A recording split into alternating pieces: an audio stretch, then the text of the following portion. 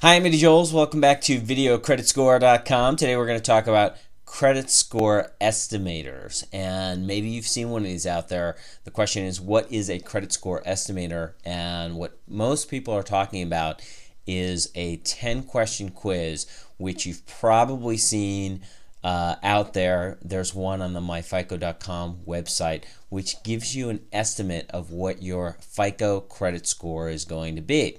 So let's take a look. So this quiz has you know a number of different questions asking you about credit cards how many you have when did you first open them um, you know how long ago did you get your first loan? That's an important question for estimating your score.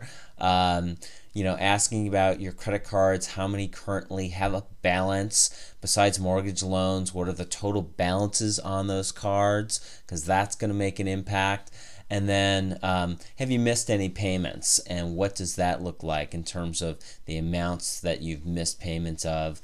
And then it's going to ask you some questions about your total credit utilization ratio and then balance or uh, bankruptcies. So, in my case, it's coming up with an estimate of 745 to 795.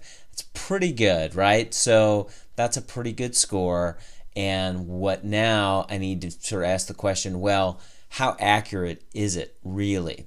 Well, there's a couple of factors which may affect the accuracy of this test. Well, one is is is are you actually able to recall all the facts correctly? Because some of the questions are a little tough. Like for me, remembering how many credit cards I have exactly is tough. I'm probably going to get that number wrong because I think about my active cards, not the total number of cards that I actually have open.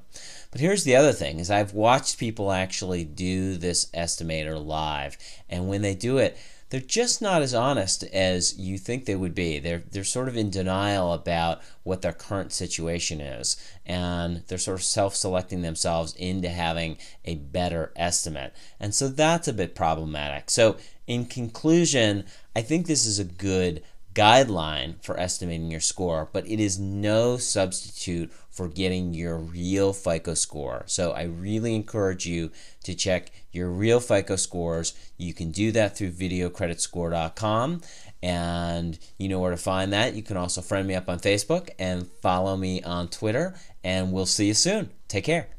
Remember, everyone's situation is different. Be sure to contact a financial advisor or a credit counseling professional before making important financial decisions. This video broadcast is for educational purposes and not a substitute for receiving personalized professional advice.